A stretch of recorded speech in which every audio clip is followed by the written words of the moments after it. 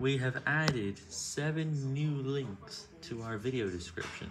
This happened because I wanted to create a new rabbit hole to get all of my extra viewers to go to one video. And the more new links we add, the more views we get. And so this time, instead of 6 links like we originally had, there's 7 now because a new one was added. It's because enough people are clicking the link to get a new one.